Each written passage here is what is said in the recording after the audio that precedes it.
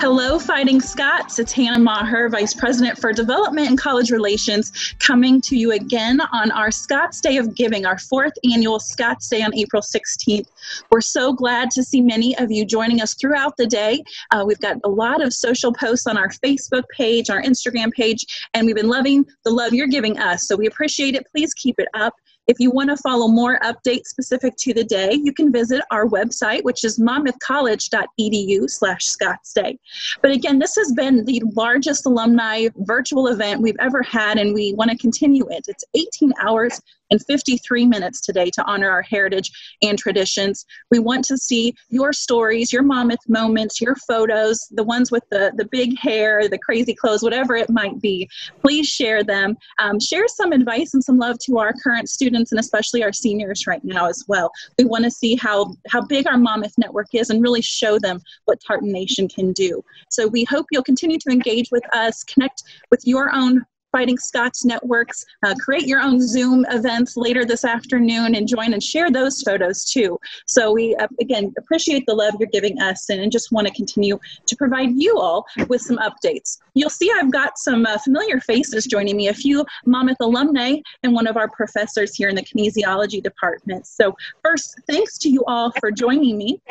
I'd like to just go around and have everyone give a little introduction of themselves so our folks watching know who's joining us. And then we have a few questions we'd like to address. So I'm going to start first with Stephanie Baker.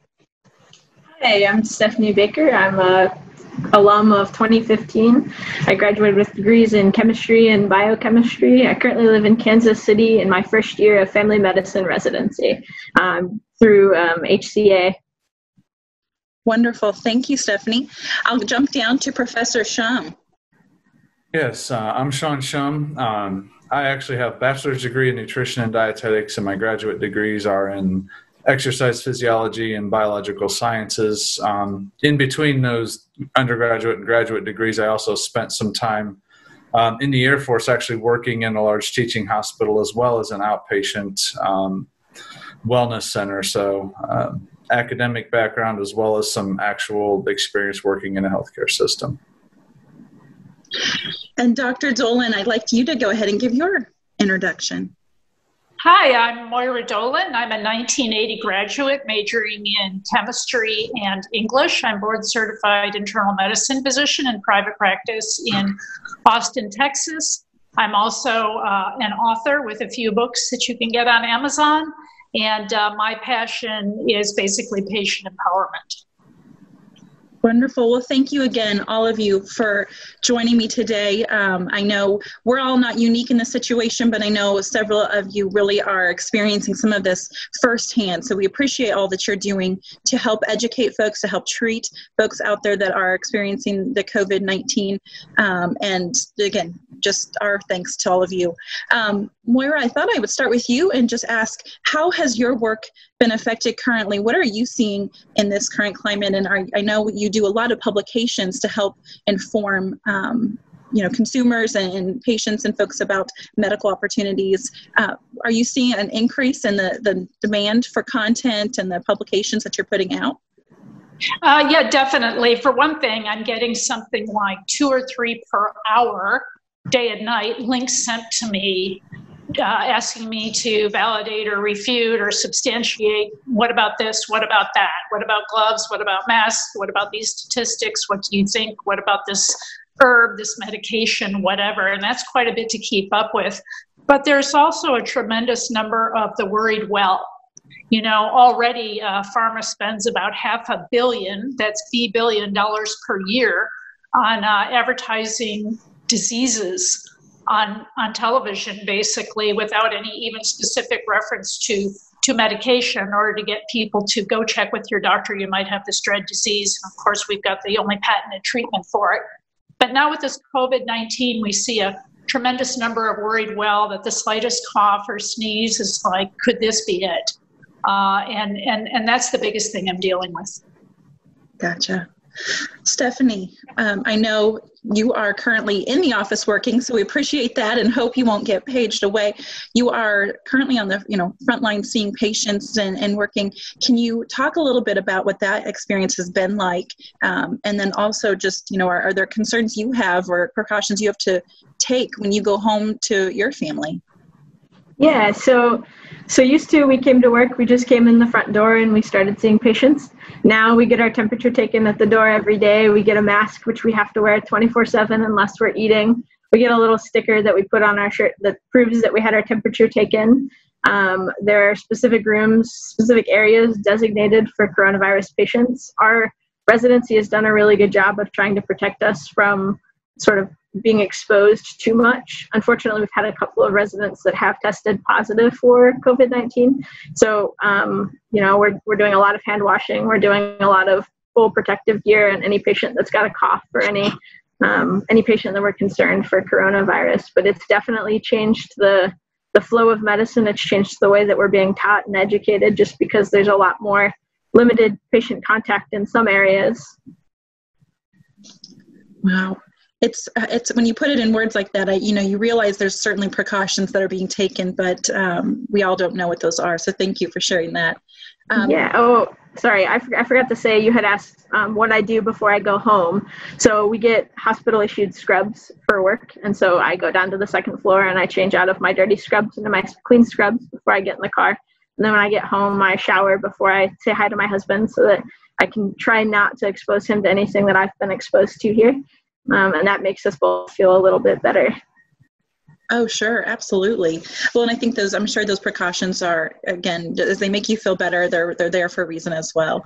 Um, Professor Schumm, uh, I know right now, you know, I'm sitting here in the alumni house on an empty campus um, and wish it was not that way. Uh, I know you're working remotely just like the rest of the staff and faculty, um, and our students are doing remote learning. Can you talk a little bit about for remote work training, you know, the students, remote learning, remote teaching, um, and hear a little bit more about sorry, that. I, I have I have to leave. I'm sorry. Not a problem. Thanks, Stephanie.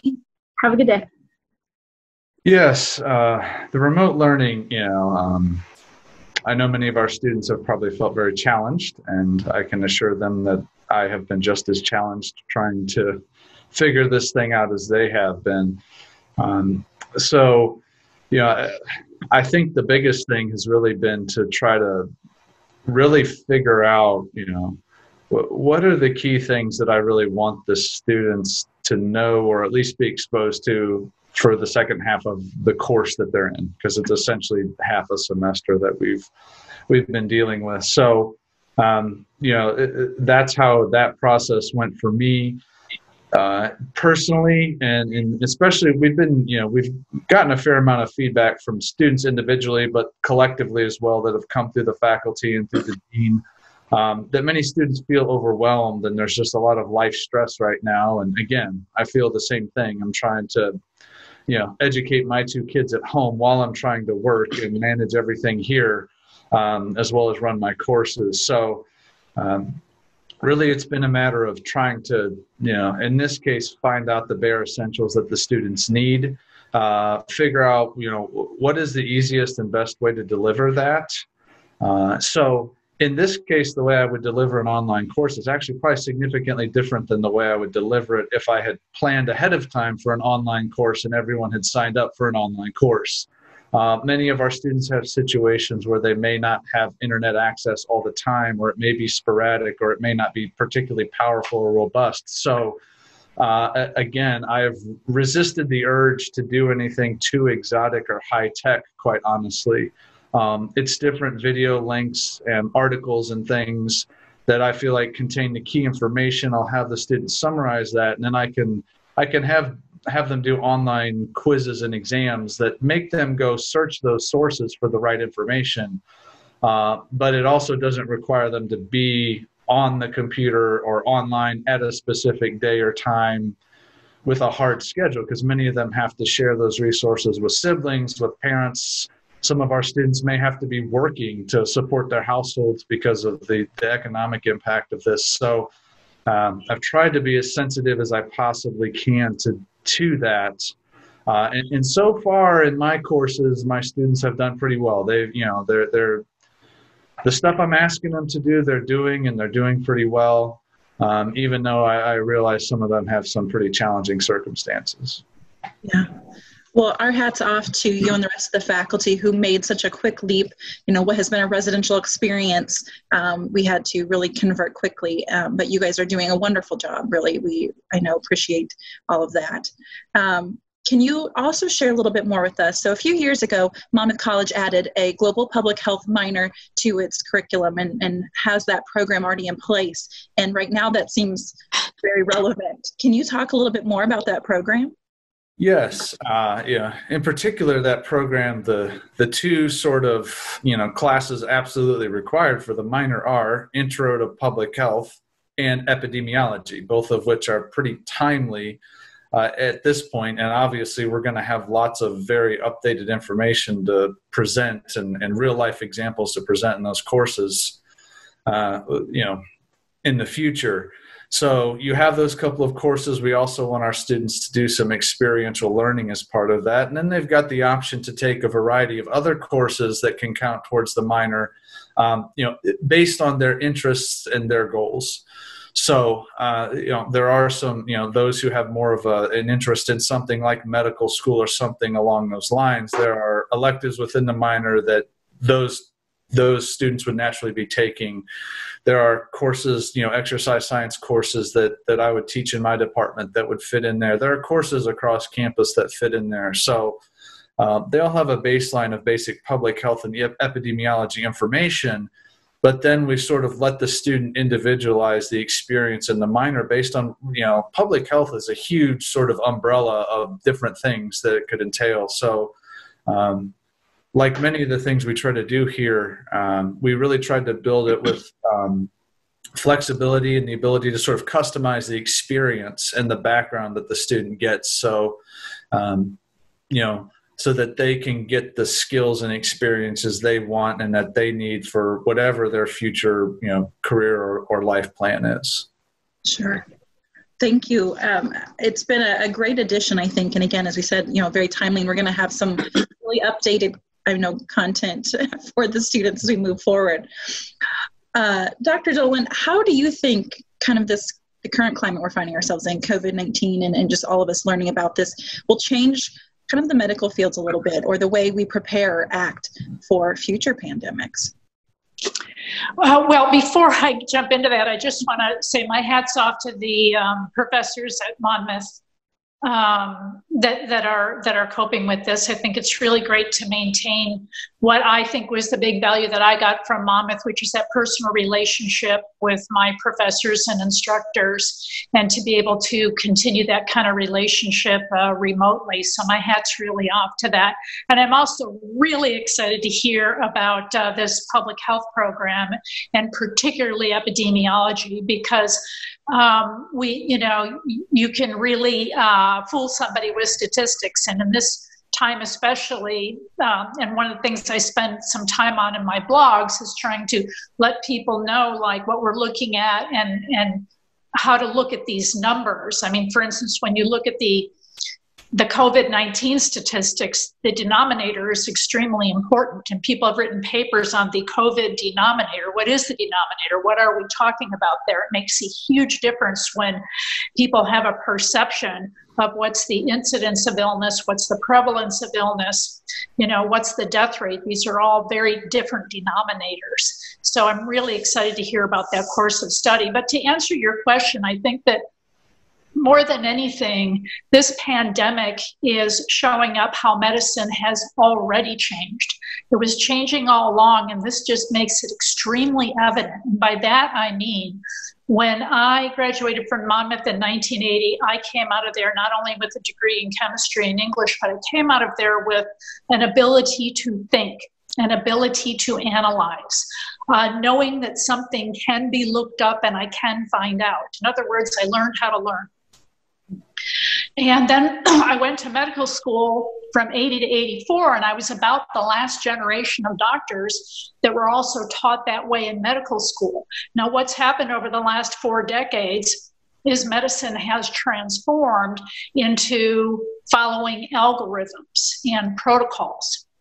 And these are dressed up with various names such as best practice guidelines or evidence based medicine or whatever.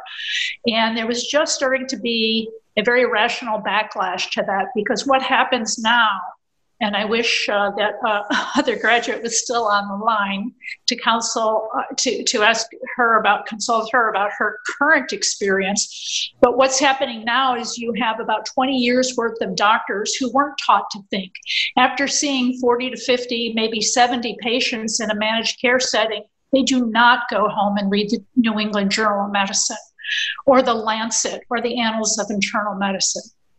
They're not analyzing the article to look for sources of bias. They have not been taught, do not understand the statistics that they're being fed.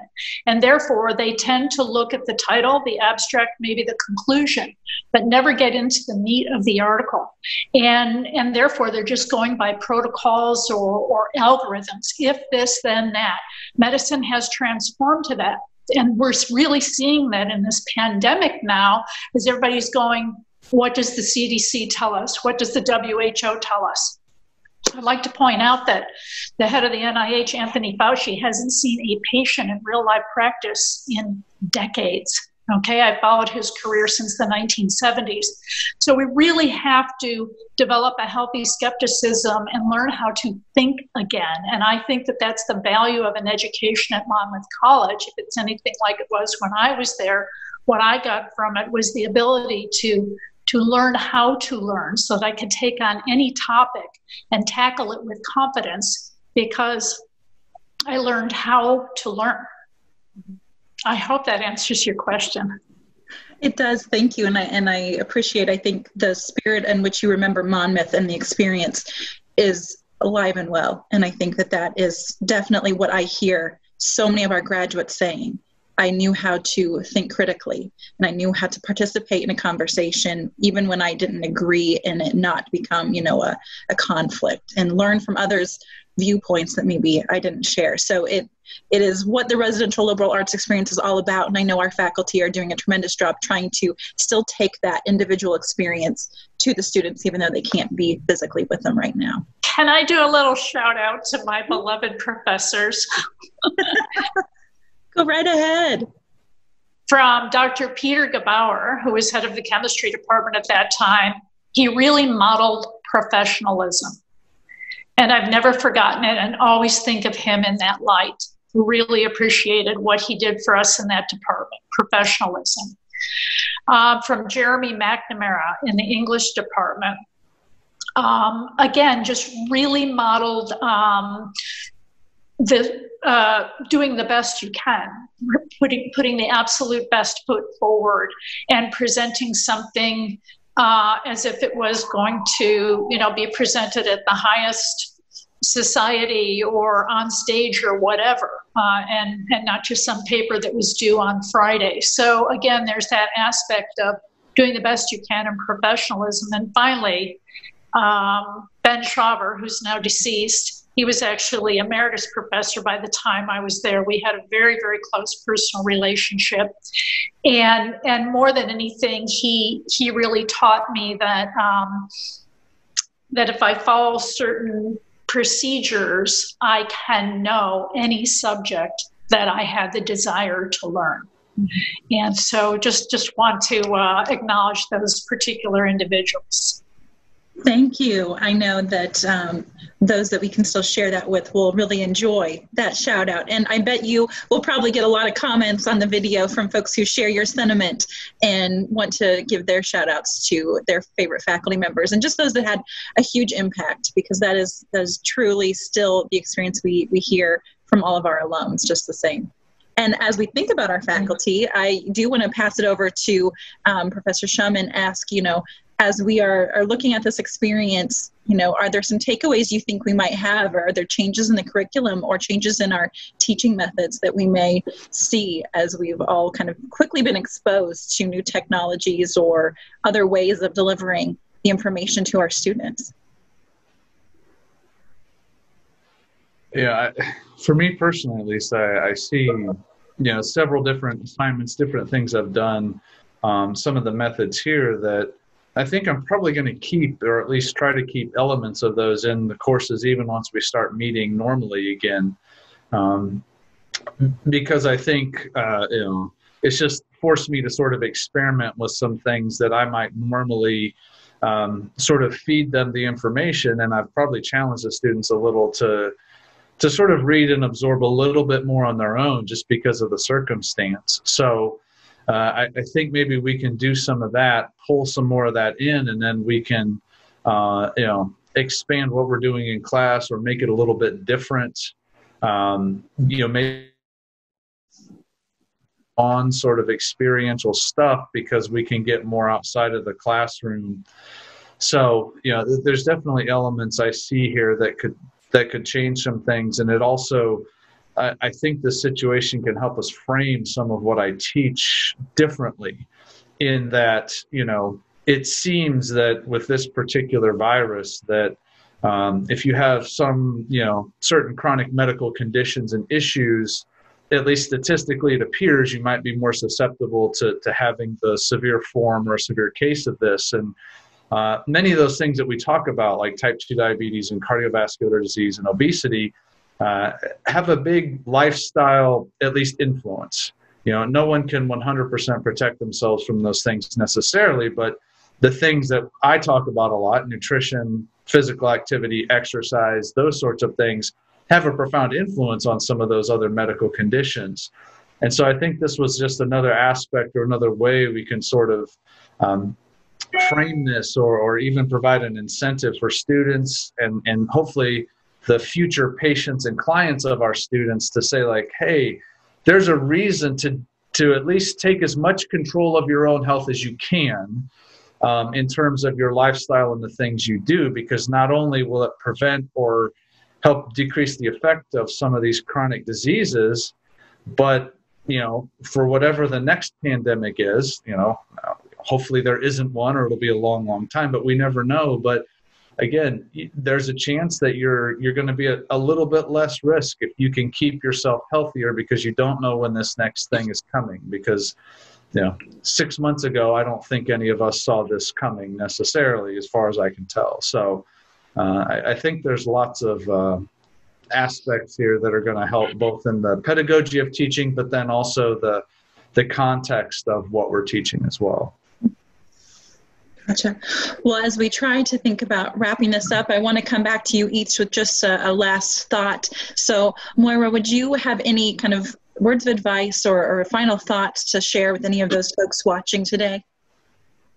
You know, right as this was striking, I was launch. I was uh, heading out on a book tour, a 20 city book tour for my new book, uh, Boneheads and Brainiacs: Heroes and Scoundrels of the Nobel Prize in Medicine. Okay, and I was thinking, darn, I wish it. I wish we were launching this in the fall because that's when the Nobel Prize is newsworthy. But it turns out this is tremendously pertinent right now because what the book does is it encourages people to develop a healthy skepticism to to really. Um, evaluate who it is that is um, cons- counseling our government and political leaders. And what sort of uh, medical things that go on uh, are really medical and scientifically based and which things are in fact political. And you you learn in this book that there were you know nazis and eugenicists and and some real uh, boneheads and people who were dead wrong and and, and people who had no sense of, of helping humanity. Now there were also the brainiacs and the brilliant people and, and the heroes. Um, and, and medicine is really a mix of both. One thing I'd like to say about COVID 19 is, is to help people really listen to what's being said in the media and try to identify what's a medical and scientifically based uh, policy, recommendation, or statement compared to what's political. And one main example of that is in this country right now, no matter what the attending doctor determines is the immediate cause of death, if that patient also tested positive for COVID 19, our government is requiring that that get listed as a COVID 19 death. Now, that's not the case in all countries. Um, and so you have all these, again, different denominators and, and different numbers floating around. That is a political decision. That is not a medical decision. It would be the equivalent of saying anybody who has the HIV virus who dies of any cause that gets counted as an AIDS death. And if we did that, there would be a global pandemic. Okay. So for people to really acutely listen and look at what is medical and what is political and to develop some discernment there. And for more information, I'd uh, refer people to my blog. It's simply moiradolan.com. Thank you, Moira. I appreciate that. How about Sean? Would you have any final thoughts for those watching? Words of advice, maybe even to our students? Yeah, um, I would echo what Dr. Dolan said. It's actually something that I talk about in many of my courses. You know, if you're going to be a future doctor or anything, um, at least ask questions. Be an educated consumer of, you know, the medical industry, if you will. Um, that's not the that I encourage everyone to to think they know more than their physician, but at least I want them to know enough to ask the right questions and to be educated. So, um, Sean, we got to get together. Yes, yes. So, uh, you know, I, I want my students and my graduates to be the people that innovate the the fields of you know uh, in, that innovate in medical fields, whether it's as MDs or as physical therapists or athletic trainers. I want them to be the innovators because they question the current status quo and maybe there's good reasons why we do certain things now, but I think students should understand those whys. But even as consumers, I want them to, to be educated. But, you know, other than that, I would just tell my students, like, hey, take a deep breath and relax. You'll get through the rest of the semester. It'll be okay. Um, rest assured, we're all going through the same stuff. Um, and so, you know, just keep learning. Um, yeah, do your best, but also realize that, you know, there's probably a more important thing in your life than your grade in my course right now. And it's okay. You know, do what you need to and, um, you know, and, and it, it'll be okay because I think sometimes reading and, and listening to the media reports, we can stress ourselves out quite a bit. Um, so do, you know, I would just tell my students to do what you can to take care of yourself, control what you have control over Mm-hmm. Um, and then, you know, relax and, and enjoy the ride as much as you can in a very difficult situation, admittedly. So, um, and, you know, I hope to see them all on campus in the fall.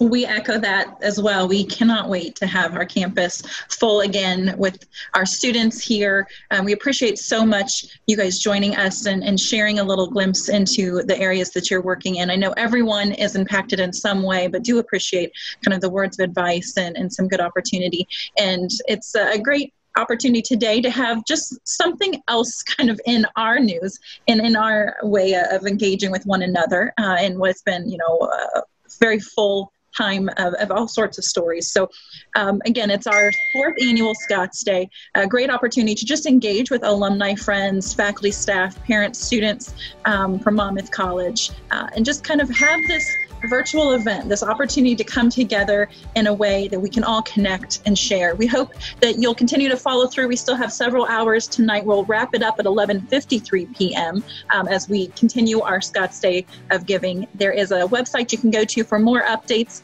which is monmouthcollege.edu/scotsday. You can continue to follow us on our social media pages, um, and maybe even if, if, you want to share some of your favorite uh, faculty memories, even to this post. I know there's been some good call outs here, and we appreciate that. So, again, thank you so much for joining us to Professor Schumm, uh, Dr. Dolan, and even Dr. Baker, who had to jump out, I think, to go see some patients. Um, but we appreciate so much you joining us today. And again, all of those watching, uh, we'll come back to you again with more updates throughout the day. Go Scots!